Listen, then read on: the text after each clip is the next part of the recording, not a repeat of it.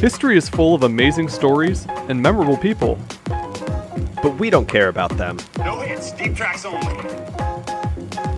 Some of the most influential people in the world have been completely overlooked or just plain forgotten. We're digging deep into the history books to bring you their stories. And maybe some laughs along the way. This is History's B-Side.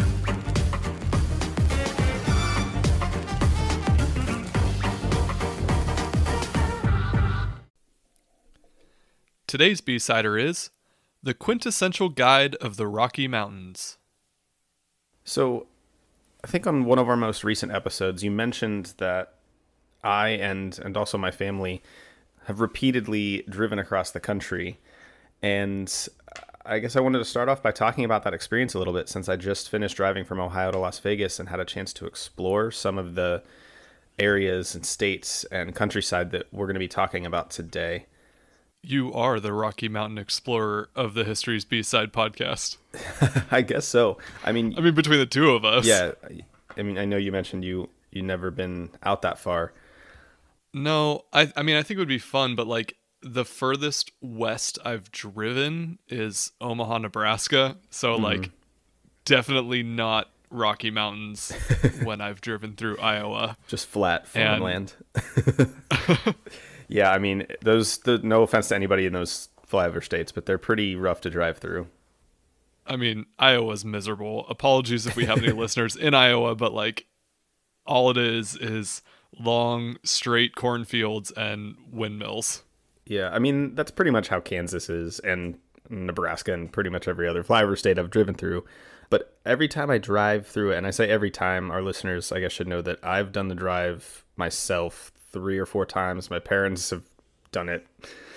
I don't know, like eight, nine times. I lost count between them driving back and forth to Portland and to Las Vegas to see my sister.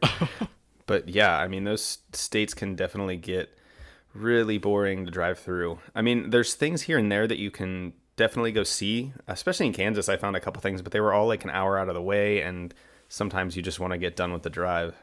I feel like when you're taking a drive that long, it really doesn't matter if it takes one extra hour to go see some other states or to go out of your way a little bit. And Right. listen, if you're driving that far, you might as well go out of your way. Like Yeah. like I just said, there's nothing in Iowa, so my family drove an hour or two out of the way to go see the Field of Dreams movie site because Oh, that's yeah. the one thing in Iowa worth seeing if you're a baseball fan. right. Yeah, I mean, the, the drive definitely sounds terrible, but I mean, I've done it a couple different ways and broken it up into different um, different days and taken you know three days or five days to do it Yeah. and stopped in each state. Um, in this most recent time, you know, I stopped in Louisville and Kansas City and Denver. So I think if you break it up, it's not that bad. But the thing that always strikes me when I drive it is a the the just immense vastness of our country and how big our nation is. I mean, you drive across these states for hours and hours and these long straight roads at 80 miles an hour. And in addition to just the natural scenery, especially once you get to the mountains being kind of intimidating, I just always try to go back to remembering that people crossed this on foot and on wagons, you know, pulled by ox, and it's it's always it kind of blows my mind to think about that that they they would spend days driving through flat land and then get to the Rockies and how disheartening that might have been.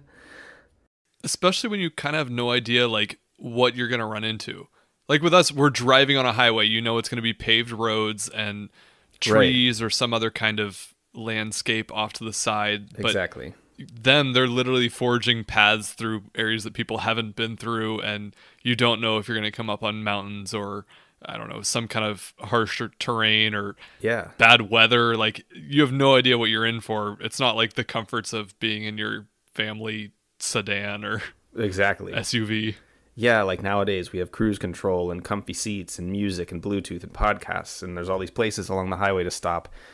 But it, it's just incredible that people just pack their stuff into these wooden boxes and took off across the country. I'm endlessly floored by the human courage involved in that pursuit. Well, fortunately, your ox and cattle don't need high quality petroleum.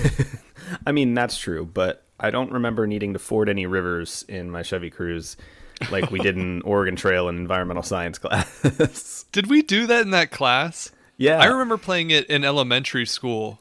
Yeah, we found some online version that was like really crappy and pixelated, but you could plug like your friend's name in. And I remember that because Jess ended up dying of dysentery. Oh yeah. I think we like found some version online that you could Yeah. download or play online that was just reminiscent of the I don't know, what was that early 2000s version that we had on our elementary school computers. Yeah, the little 8-bit or whatever that is. Yeah. But yeah, we we put in our friends and saw who would make it across the country and I don't know if any of us ever actually did. And maybe that's the realistic part of the game. To be honest though, when I played that game in like elementary school, I think we got to the first settlement stopover area, spent our entire budget on like ammunition, and then as soon as you got to a part in the game where you could hunt, we just sat there and did that because that was the fun part was like Yeah. shooting birds and stuff that flew across. And then you'd like have all this meat because you wasted all your money on ammo. Whatever you killed would be stocked up in your uh, food stores, and then it would spoil by like the next round and you'd be out of money, out of food, and everyone would be dying yeah. before you even make it to the next town. And I think that's probably how it was for a lot of people. I mean, we're we're talking about how hard it would be. So like I think that's the reason why it was a really dangerous and risky thing to do and a lot of people perished. But our topic for today is a man by the name of Jim Bridger, who was kind of a navigational savant when it came to the Rocky Mountains and an area that we'll discuss called the Louisiana Territory, which was one of the largest land purchases in US history and a huge swath of land. But Jim had a knack for navigating it almost with the same ease we would be able to navigate around our neighborhood. And he had this perfect map of the entire region in his head and could go back and explore different trails and routes and passes that you know he hadn't before and kind of add them to that that map in his head and as a result he was really kind of one of the most talented and quintessential guides of the Rocky Mountain region during this time when you know, lots of settlers and pioneers were exploring it and it's i mean if you've ever been like backpacking in wilderness it is really hard to to navigate things do get Yeah. I mean, kind of twisted around in your head, and you know, hills and mountains confuse you as far as the direction. You never know what the topography is going to be. You run into canyons that you can't cross, and you have to go back. So, I mean, without marked trails, it would be horribly difficult to navigate the Rocky Mountains on foot. I think. Granted, I haven't spent that much time like wandering through wilderness aside from marked trails in like Yeah. just regular woods and forests and stuff. But Right. even in when when we're in cities and stuff, like Rita's made the comment that she has no sense of direction, and it's a good thing she's with me when we visit a new city because I quickly find my bearings and can get around the city. But like that's walking around a city blocks with marked streets or and square. landmarks and like it's really easy to say hey we saw this business here or we were on this Right. street and we need to head this way to wherever we're going but like to walk through wilderness where it's mostly unmarked trails or it's stuff that you might not have seen before or you have seen it but you're moving at such slow pace that it might have been days or weeks or months ago the last time you walked past this point like that's what's incredible about people like this Right. And I think that's why a lot of people don't realize how easily you can get lost when you don't have those kinds of markers. And that's why men like Jim Bridger were necessary and important to the settling of the American West.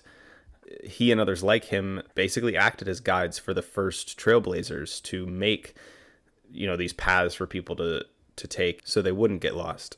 But before we talk about his story, I do want to cover the American frontier a little bit because I think we all have this mythical storybook idea of the American frontier, but I honestly don't know too much about it beyond the name Daniel Boone and Davy Crockett. The American frontier began with a settlement at Jamestown, Virginia in 1607, and since that time it was basically pushed west, always sitting just beyond the edge of established American settlements. So this might be kind of a dumb question, but is the American frontier like an actual thing or is it just like the idea of what is part of our land but not yet known, like where we Yeah. where we can expand to but we haven't yet reached? Or is it this actual thing that it, it's like the moving border of the new country? Yeah, I mean, I think that's a really good way to look at it. That's exactly what it is. It it is this space that is constantly moving and encompasses whatever is just beyond our current settlements.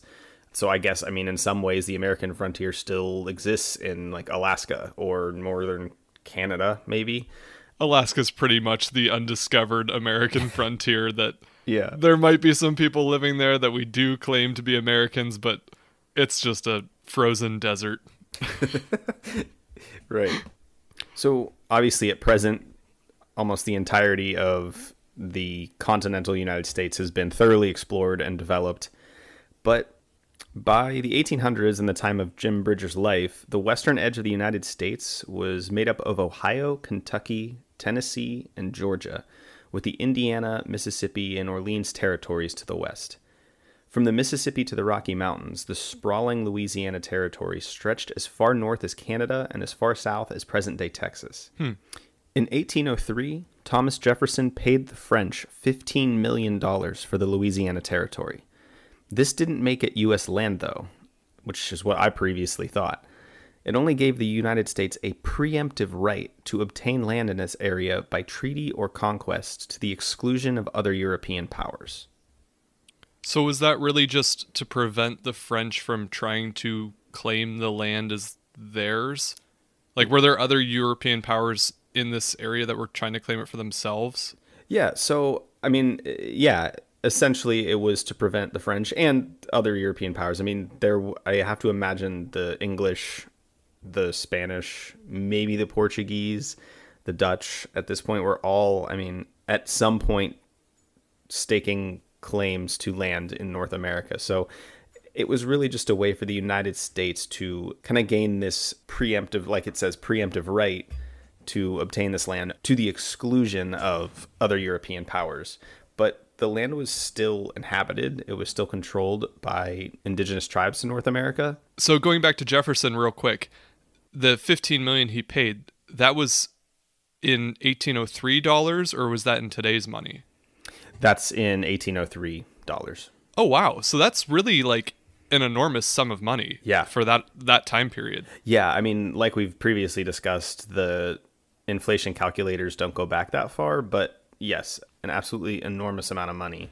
I mean, I'm sure it would cost quite a bit of money to purchase new land today to add Sure. to any country, but still, like, I'm just amazed that they would have spent that much money to, I guess, have the right to this land and not even to necessarily acquire it to make it a part of the country. Yeah. Well, I mean, I think what you have to remember, kind of unfortunate fact, is that the European powers were, including the United States, I keep saying European powers, but the, the major world powers coming out of the West had this kind of arrogant view that, you know, we're going to talk about manifest destiny in a moment, but they kind of had this view that they were going to civilize these these lands. And so even though it didn't technically give them the ownership of the land just yet, I don't know that there's ever any doubt in Jefferson's mind or in the United States government's mind that we were not going to eventually explore and claim that land for ourselves. And I mean, that's part of this country's troubled past. But I think Jefferson saw the value in that land. I think he saw the economic potential that it had. And in fact, I mean, it is, you look at what's there, it's where most of America's food production comes from, which is a, a huge export for our economy. So, yes, it was a lot of money, but I think Jefferson and his advisors probably saw the, the potential and saw that it was a good investment. And that's why he soon after enlisted Meriwether Clark and William Lewis to explore the area, their route beginning in St. Louis and ending in Fort Clatsop in the Oregon coast. Meriwether is a name that we need to bring back into like the American lexicon. That's a good name. I'll name my firstborn Meriwether Melito. Meriwether. yeah, he Perfect. won't get picked on at all in school.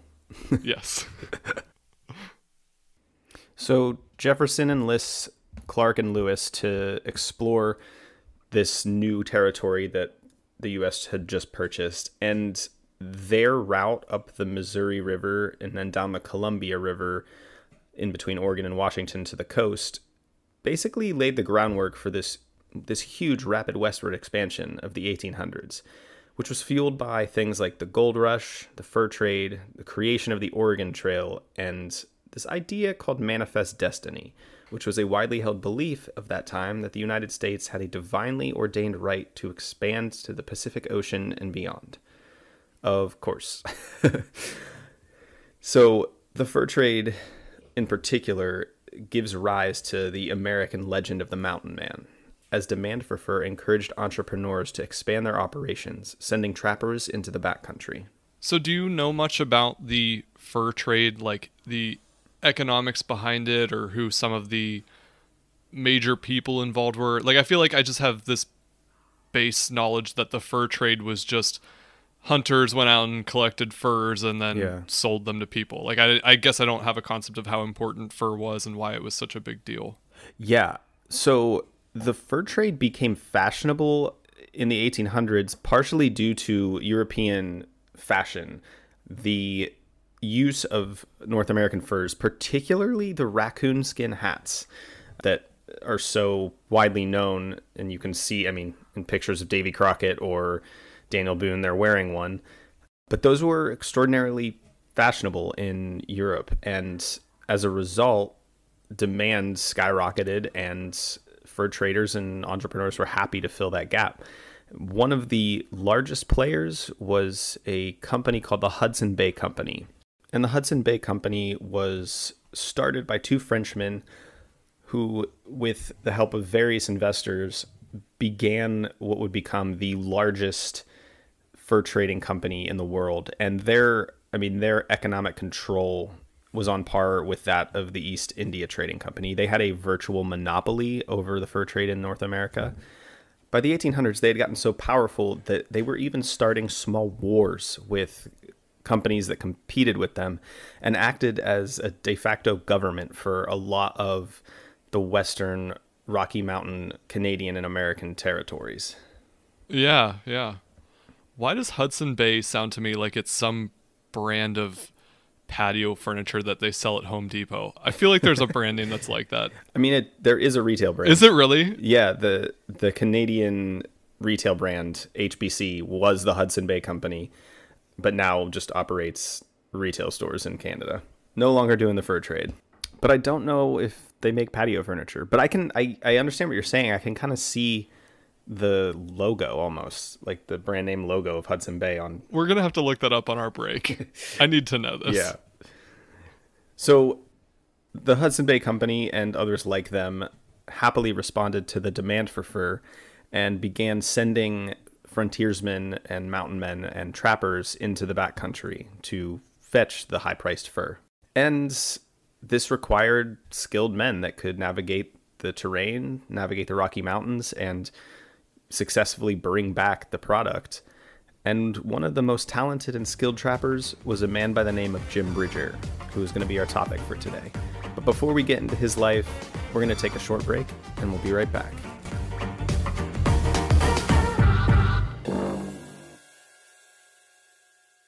Matt, you like coffee, right? I love coffee. Would you ever want to buy me a coffee? Anytime, Phil. Just say the word. You know, our dedicated listeners could also buy me a coffee. Could they buy me a coffee as well? They could buy you a coffee. This sounds fantastic. We set up this service called Buy Me a Coffee at buymeacoffee.com slash history's B-side. And people can buy us a coffee? Yeah, it's really just a way for people to support the show if they enjoy the show. And if they're listening to the show, we sure hope you enjoy it. Yeah, otherwise you're just, I mean, wasting your time. At buymeacoffee.com slash history's B-side, there's three ways that our listeners can interact with the show. Number one, you can just donate to the show by clicking buy them a coffee. Two, you can join as a member for $10 a month or $100 a year. Being a member gains you some pretty cool perks. You get access to our monthly bonus episode, History's B-side battles, access to our future episode queue, a name shout out on a future episode. We'll also send you a handwritten thank you postcard and sticker set, and more perks will be announced as we continue on. There's also some different extras that people can get on our Buy Me a Coffee website. things like choosing the topic for a future episode. If there's a person, lesser known person in history that you have an interest in, let us know and we'll do an episode all about them. You can also buy sets of custom postcards, sticker sets, and future merchandise that we add on there as well. Or you can draft your own advertisement script and we will promote whatever you want in a segment like this. The website again is buymeacoffee.com slash history's B-side. Matt, Yeah. you owe me a coffee. Oh. Do I get a coffee too? You're buying. All right.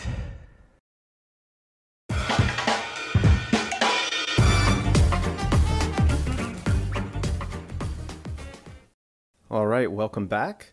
So we've got the lay of the land, if you will, uh, about the American frontier, and now we're going to get into Jim Bridger's early life before we start talking about some of his tremendous feats.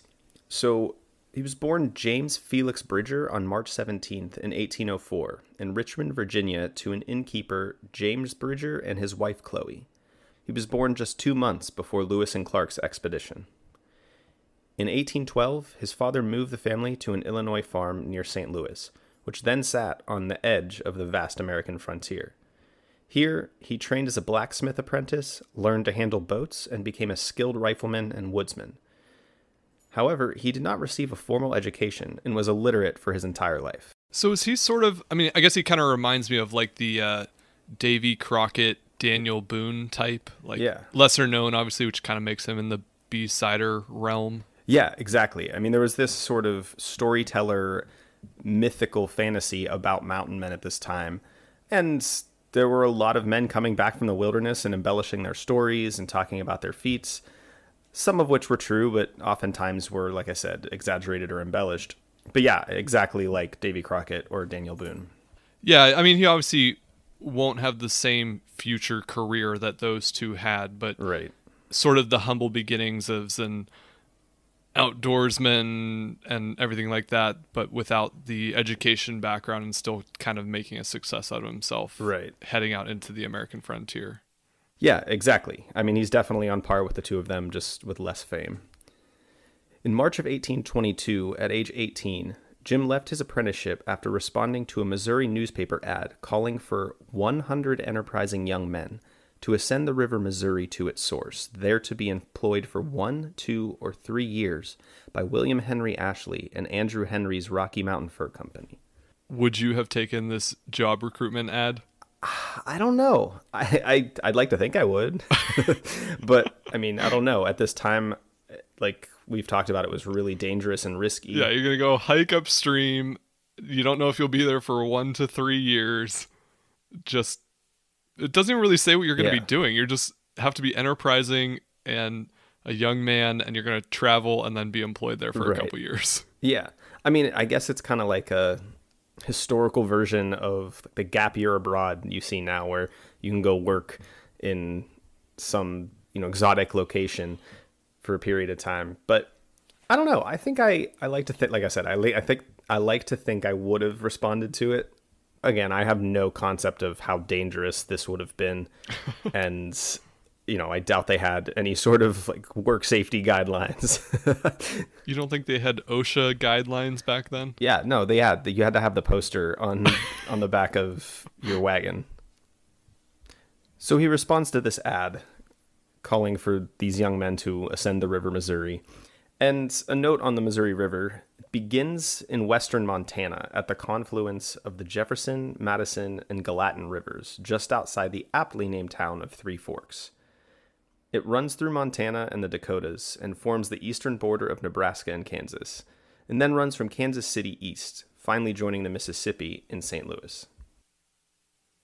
The Ashley Party included many soon to be famous mountain men, including Jedediah Smith, a trader known for being the first European man to enter California by land from the east. And I kind of love that like record and how many qualifiers it requires. Like the first white European man to enter California by land from the east. like how many qualifiers do you have to put in front of your uh, your record before it's not really a record and just something you did after a bunch of other people? They're like baseball analytics. They're like the first left-handed 24-year-old pitcher from the state of Nebraska to throw a one-hit game through 6 innings on a Tuesday with rain in the forecast. Right. Yeah. Like we have to have our record, but there were like, you know, a couple thousand couple hundred thousand people here before us. So To be fair though, we don't celebrate enough European men and it's about time that they get their recognition. exactly. Yes. History has not always been fair to the European men. Yes. What a what a poor, downtrodden, forgotten group of people, if there ever was one. In fairness, we know the order that we're publishing these episodes, and our last episode was a European man, and the next episode is a European man, so maybe they get enough attention. Yeah. I think we need to do someone else soon. so to get back to our European white man of the the week, um, though he was uneducated, Jim Bridger was a brilliant survivalist and had a keen talent for finding his way in the wilderness. He was adept at learning indigenous dialects and culture and had a tremendous memory for geographic detail. He could fully and accurately describe any region he traveled through, as well as those around it, and even draw accurate maps by memory, including geographical details and topography. it's interesting too because you think that's a skill that you would equate with literacy. Right. And the fact that he had no education and couldn't read or write, but he could draw out or at least communicate these detailed maps of Yeah. areas that he's just traveled through are it's really impressive. Exactly. Yeah, I mean, completely uneducated. He can't read, but I don't know. He just had this innate, insane talent for hmm. direction and navigation. And I think that was why he was able to draw out these maps. I don't even know for a fact that they had any English written on them. Like, they could have just been pictures. So he joins the Ashley party, and it's with this expedition he begins a legendary 20 year period of exploration, passing on foot through an enormous area, the boundaries of which were the Canadian border, the Missouri River, the Colorado New Mexico border, and Idaho and Utah. Yeah, I mean, we started this episode with you talking about driving through these states and how Yeah. long that took. Like he was traveling essentially on foot or by livestock pulled cart, cattle pulled cart. Like Right. that's amazing. Yeah. But we also talked about how none of these were like established areas yet. Like they weren't states. Canada wasn't a country yet. These weren't really like borders. So, I mean, do you know what these were? Were they just considered independent territories, or? I mean, I guess it's just indigenous land, right? I mean, technically, yeah, I guess it depends on who you ask. But yeah, I think it, I mean, in, in my mind, it was indigenous land. Uh, This land was considered a territory that the, the U.S., like I said, had that preeminent right claim to, but they were essentially wild territories. Though that didn't really stop the U.S. Army from treating it as though it was our land as they moved west. But I think that also makes this all the more impressive. Like that, I mean, this isn't even an area where you can call for help to anybody or you know if you just get killed by a group of outlaws or an indigenous tribe like no one's no one's coming to save you Right. Yeah. in 1824 he was the first european to explore the great salt lake at 21 years old though due to its salinity he believed it to be the pacific ocean at the time Right. Right. That's understandable. I mean, you don't really know where you are. Yeah. Who's the first one there? Yeah, I, I'm not going to fault him for that.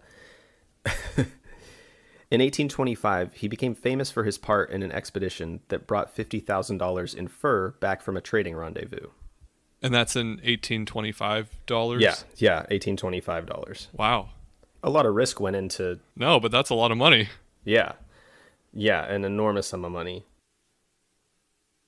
During the expedition, though, he ended up leaving the party and entered Bighorn Canyon in Montana by himself.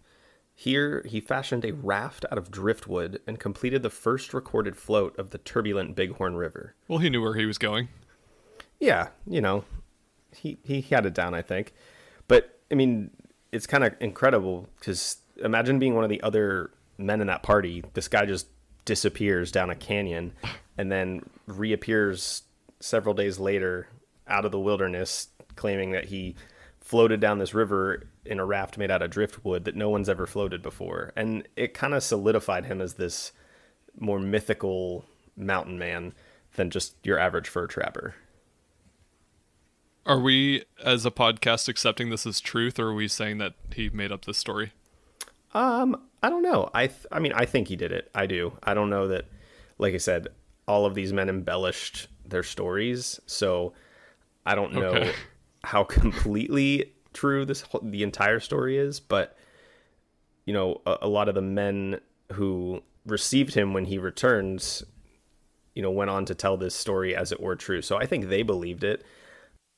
I think he certainly would have been capable of it but I guess I'll let our listeners decide for themselves since we can't really verify this at all.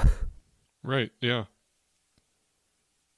Bridger was also one of the first men to explore the Yellowstone region and helped establish the first fur trading post on the Yellowstone River.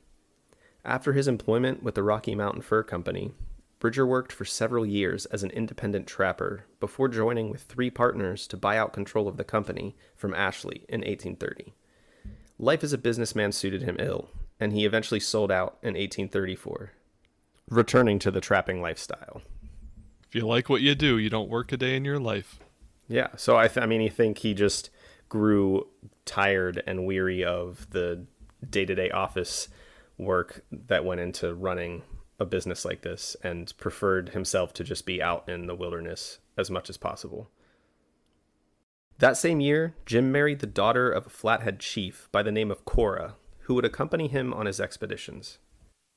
By the 1840s, he grew tired of the nomadic life and in 1843 established Fort Bridger in southwestern Wyoming as a way station and trading post for the growing crowds of emigrants on the Oregon Trail.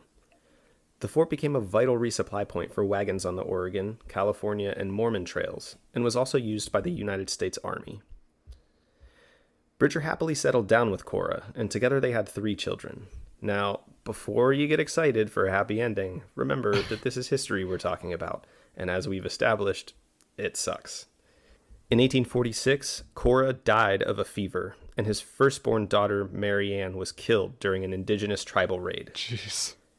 He then married the daughter of a Shoshone chief, who died during childbirth shortly thereafter. He retreated into the mountains to trap after each of these tragedies and spent time living with various Shoshone tribes. Of course, you include the sad part. Well, I mean, I, st- I did say, I did give a warning. But it is interesting that he returns to trapping after tragedies. yeah. Like, do you think that's because he has necessity to just to make his livelihood to provide for himself, or is it more like a a comfort thing? Like this is what he knows to do, and it's what he's good at, and settling down didn't fare very well for him, so he went back Right. to his nomadic style. I think it was more out of comfort, out of a need for comfort and solace. I imagine at this point in his life, you know, he's purchased a fur trading company. He's been a successful trader for 20 years. I think he'd he's probably financially pretty well off. He set up his own fort in Wyoming. Mm-hmm. So I think it was more out of comfort solace, you know, when we're met with a tragedy like this and an enormous amount of trauma and grief that comes with it, we all tend to return to what we know and what we love and our passion to distract ourselves. And I think that was this was his version of that. You know, he was just more comfortable in the woods, in the wilderness. Yeah. In 1850, he married his third wife, Mary Washakie Bridger, also the daughter of a Shoshone chief. He and Mary raised two children together, spending summers in Fort Bridger and winters with the Shoshone. My man's got a type. Yes, yes, he does. He and Mary raised two children together, spending summers in Fort Bridger and winters with the Shoshone. That same year, while trying to find an alternate route to the South Pass in Wyoming, he discovered what would become known as Bridger's Pass. It shortened the Oregon Trail by 61 miles. Now, it is noted that Bridger's Pass didn't become a super popular route, uh, partially due to it just not being publicized well and the information wasn't spread. But I mean, Pretty useful though. yeah, I mean, I think it was a tremendous feat. I, I mean, I did, I didn't discover a trail that shortened the Oregon Trail by 61 miles today. What did you do? I can barely do my own house chores. Well, you know what? Millennials have it really tough in the 21st century. So, you know, the mountain man weren't that great. No. Well, and the thing is, he didn't even Instagram it. So how do we know he even really did it? Yeah, like how do people know what's going on in their life if they're not posting on Right. TikTok every day? Yeah. I mean, I, I imagine if he if he would have had a TikTok or an Instagram, he could have had a a little bit more publicity for his past. He would have He would have had some great Instagram pictures though. oh, definitely. I mean, can you imagine? He would have been like the best nature photographer. Just discovered a new route. Hashtag for the gram. blessed. oh my goodness. I feel like in modern times, Jim Bridger would have ended up as a guide for like wilderness Instagram. Instagram influencers. yeah, yeah. In 1853, members of the Latter day Saints Church who resented the competition from Fort Bridger tried to arrest Jim as an outlaw. What competition was there between Fort Bridger and the LDS Church? Well, so because the Mormons were one of the first groups of settlers to move out west, they did establish a lot of the trading posts. And so along the Oregon Trail and the California and Mormon trails, the Mormons ran a lot of the posts. And so Fort Bridger would have been in direct economic competition with them. So it would have been people traveling along this route would be going to Fort Bridger instead of their own real source Right. of income from outsiders. Right, exactly. Okay. Luckily, Jim was able to escape into the mountains with Mary and their children. But a band of Latter day Saints burned and gutted the fort, destroying his supplies. Fearing for the safety of his family, he relocated to a farm in Missouri, where he left Mary and his children to enlist as a scout for the U.S. government. He guided numerous expeditions, including Colonel Albert Sidney Johnston's invasion of Utah during the Utah War in 1857 and 1858. Now, I want to stop for a moment because I myself had never heard of the Utah Wars, and I imagine many of our listeners haven't either. So, amid persecution, the Latter day Saints or Mormons fled to the territory of Utah, which at the time was known as Alta California. They fled hoping to find refuge in the American West, but as American expansion moved westward and the American army began encroaching on the Utah territory, the Latter day Saints began to take defensive actions. Their direct orders were to annoy the U.S. Army at all opportunities. They would stampede their livestock, burn the brush around them, hoping to catch their wagons on fire.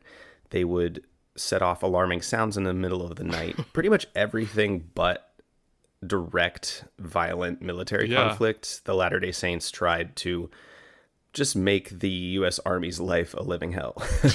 so eventually, you know, how the U.S. Army rolls, they had had enough and they invaded Utah. And it's it should be stated that before we give the Mormons this underdog role here, they were pretty violent. They would attack settlers moving west. They were known specifically for massacring over a hundred settlers from Missouri and Arkansas in southwest Utah in an event known as the Mountain Meadows Massacre. So they weren't exactly a peaceful group of people just trying to get away to a place where they wouldn't be persecuted.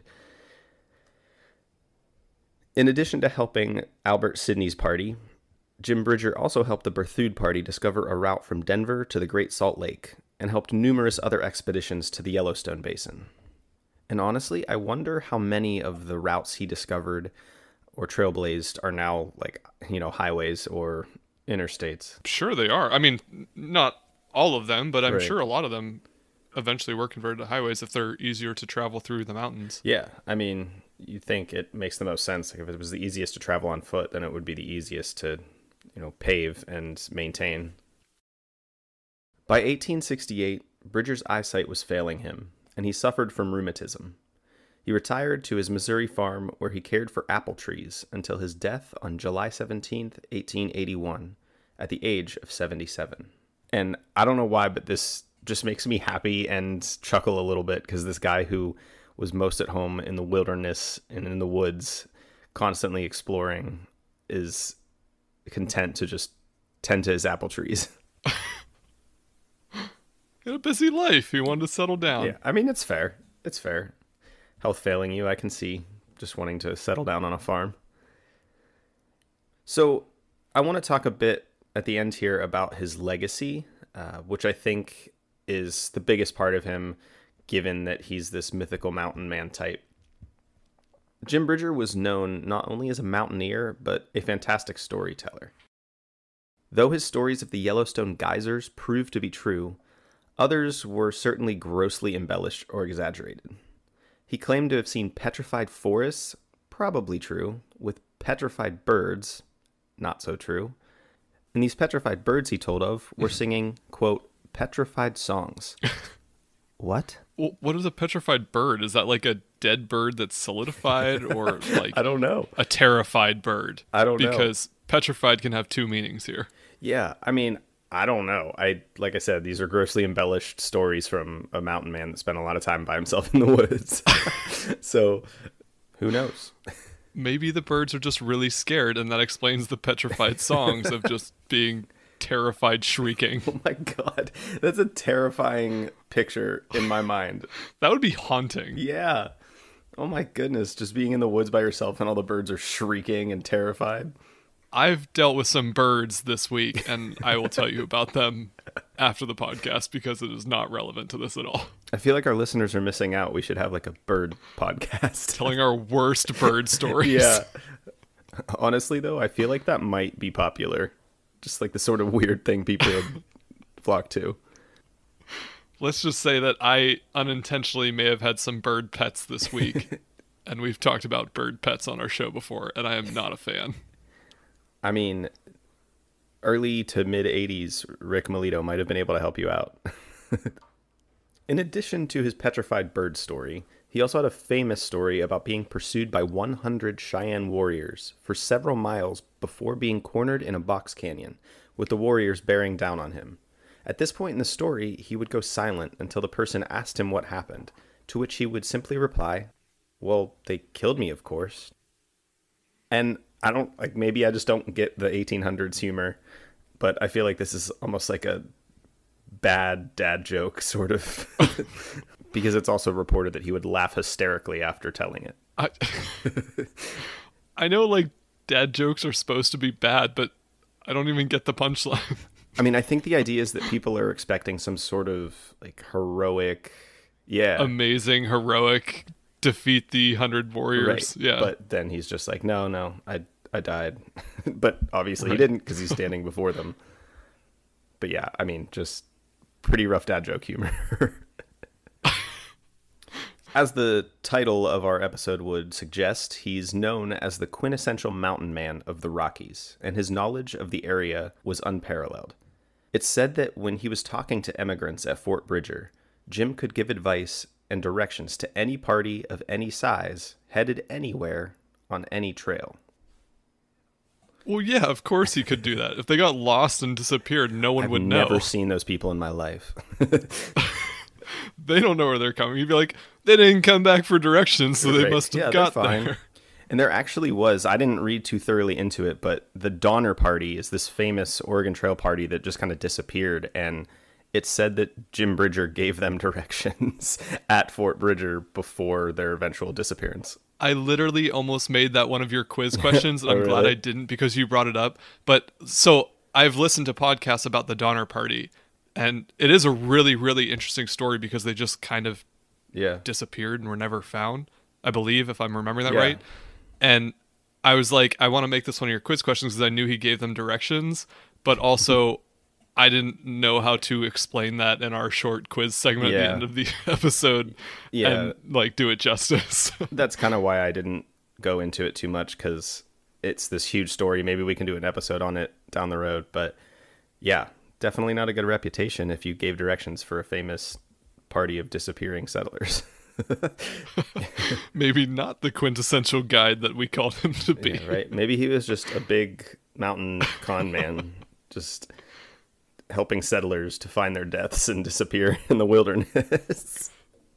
The quintessential guide to Poyais. yeah. Him and Gregor MacGregor were in cahoots. Guys, I've got this great pass through the mountains that is rife with really friendly indigenous tribes. the Rocky Mountains are lush with for growing Yeah. corn. right. Three harvests. The sun is always shining and you'll never die. In addition to Fort Bridger, it, which is actually a town now, I looked it up. Its current population is a whopping 181 people, which is down almost half from what it was 10 years ago when it was about 300 people. Oh no. In addition to Fort Bridger and Bridger's Pass, Jim also blazed an alternate route to the Bozeman Trail section of the Oregon Trail. Bridger Trail, as it became known, was a less famous route, but much safer from outlaw, indigenous, and LDS raids. So they rebuilt Fort Bridger? Didn't it get destroyed? Yeah. Or is this like a town that had the same name as the actual like stopover point? So there wasn't a lot of detail about it. I do they did at some point rebuild it because it was said that it was used by the US Army for several years and as also as a trading post here and there. But yeah, the fort was eventually rebuilt, restocked and was operational. Bridger Teton National Forest and the Bridger Mountains in Wyoming and Montana are both named after him, along with dozens of landmarks, schools, and parks in the region. And for me to kind of wrap up, the biggest takeaway here is simply his sheer capability in the backcountry. I mean, even in his time, but especially now, his feats seem to add justification to the tall tales spun about him and the other mountain men of his time. And I mean, I don't know how many of our listeners have backpacked or camped in the backcountry, but to be perfectly honest, it's not easy. It's really expensive if you I mean, if you're going to get the right gear for most people to feel comfortable and safe while doing it, it's expensive. Right. It's a, a huge physical effort. I mean, the the hardest physical thing I think I've ever done. And even crossing this terrain in you know a modern day car that we talked about has all these conveniences and tools at your disposal to make it more comfortable is an exhausting trip. It's it's tiring. It's hard to do. I think you're coming across kind of soft in this episode. I think you need to make your next trip across the country by uh, wagon By trails or on foot. Yeah, I'll I'll get right to that. Ditch the car, Matt. It's better for the earth. Yeah, that I mean that's true. Eco Matt is doing a poor job by using a vehicle to cross the United States. If Jim Bridger can do it, so can you. Yeah, maybe in my younger pre-COVID years, but I doubt our listeners want to hear us talk about my lack of quarantine physical fitness. Now let's just get to the quiz. All right. We will be right back.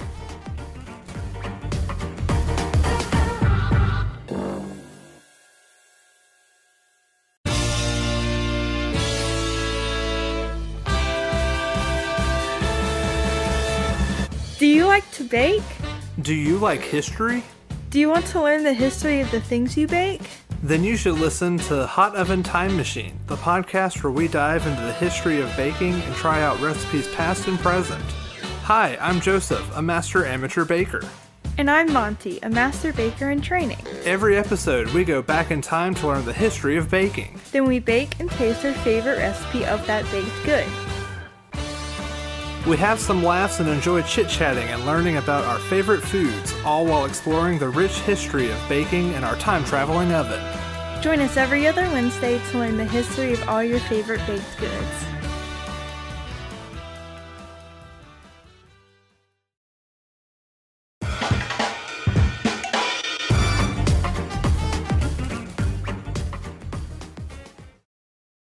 All right, now we're getting into today's quiz section. We like to end every episode with just a short three question quiz to kind of test today's host, see how much he studied his topic and everything in and around it. And maybe you, the listener, is following along or knows something about the topic already, so you could try to guess some of these on your own. Are you ready? Yeah, I feel good about this. These, I don't know. I don't think these will be terribly difficult. I think I mentioned you kind of jumped the gun on a couple of my prepared Yeah. quiz questions. I was Not gonna no, I was gonna ask a little bit about like the what caused the end of the Rocky Mountain Fur Company, but you touched on that a little bit, just the fact that they were over hunting the beavers and fashion trends sort of changed, so fur wasn't as popular, and these fur companies started to fold into each other. Um, so I guess that kind of ruined my first question for you, but then I'll, I mean, also the the Donner Party I thought was a really interesting connection, but I didn't want to have to get into that whole explanation here. So I have one for you that's sort of about one of his adventures, hmm. but also ties back to our podcast. Oh, okay. I have one about modern day Fort Bridger, oh, and then one that is catered just to you, Mountain Man Matt Molino. oh, great. I can't wait.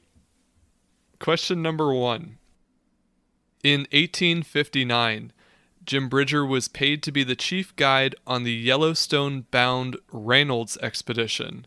And though they never made it to Yellowstone, the expedition did explore what area, which we discussed on a previous episode of History's B side. I'm not sure about this, but is it Jackson Hole? Like Teton? Correct. Okay. Jackson Hole, Wyoming, which Yes. is located near the Teton Mountains and close to the Wyoming Idaho border. Boom. We talked about Jackson, Wyoming, which is the only incorporated town within Jackson Hole, but they were notable for electing one of the first all female town councils that we talked about on our first female mayor episode about petticoat rulers. Yeah, that's a nice little Nice little connection to that old episode there. Yeah.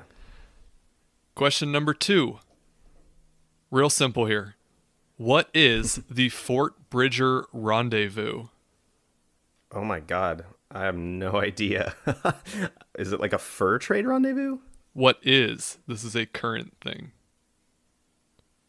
Oh gosh. I mean, I have no idea. That doesn't even sound familiar from my reading. So, the Fort Bridger Rendezvous is an annual reenactment of fur trading as it happened from 1825 to 1840 Interesting. between mountain men, Native Americans, fur trappers, and traders. It's held every year on the first weekend in September, which is Labor Day weekend, in Fort Bridger, Wyoming. It includes marksmanship contests with period appropriate rifles, axe throwing, and archery competitions, as well as food and workshops that are representative of the time period. That honestly sounds like a lot of fun. It does sound fun. I want to go to We it. should do like a history's B-side trip. Or maybe do like I don't know, a side series about us traveling to different historical places and participating in historical reenactments.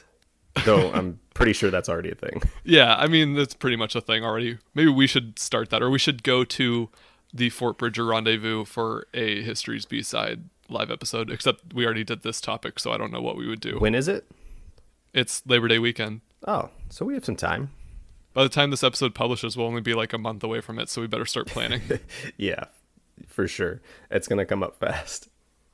All right, and your final question.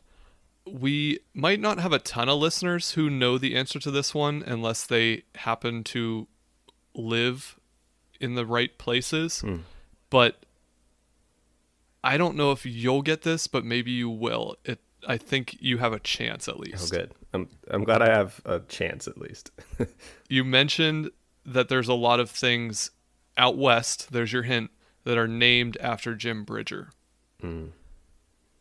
Where, in what city, is Jim Bridger Elementary School located? oh Lord. Um. Utah. I do. I need like. Do you, you want to know the city though? Um. Maybe Salt Lake City. No. Dang.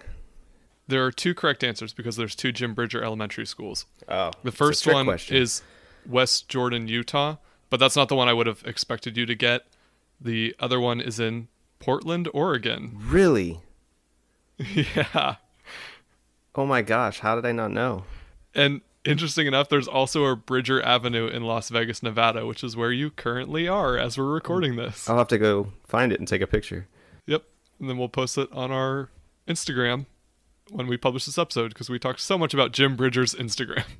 yeah, I'll have to go find both of those and get some good pictures for our listeners. So check our Instagram feed at History's B side, and you can see a picture of a street sign that Matt is going to go find tomorrow. As usual, we really appreciate the support of our listeners. Um, we love doing this for you guys. It's a lot of fun, and we're happy you enjoy listening. If you have any questions, comments, concerns, suggestions, please feel free to reach out to us at historiesbside at gmail.com or find us on social media at History's B Side. We'd love to hear from you, and again, Thanks for your support. We'll see you next week. Thanks for listening. History's B-Side is an independent, listener-supported podcast. Leave us a review or subscribe to the show on your favorite podcasting service. And follow along on Facebook, Twitter, and Instagram at History's B-Side. Send us your feedback or inquire about sponsorship and advertising opportunities by emailing us at historiesbside at gmail.com. You can donate to the show at buymeacoffee.com slash histories b-side. While you're there, check out our membership perks, merchandise, and more. This episode was researched and produced by your hosts, Matt Melito And Phil Hall. Thanks for listening to History's B-Side.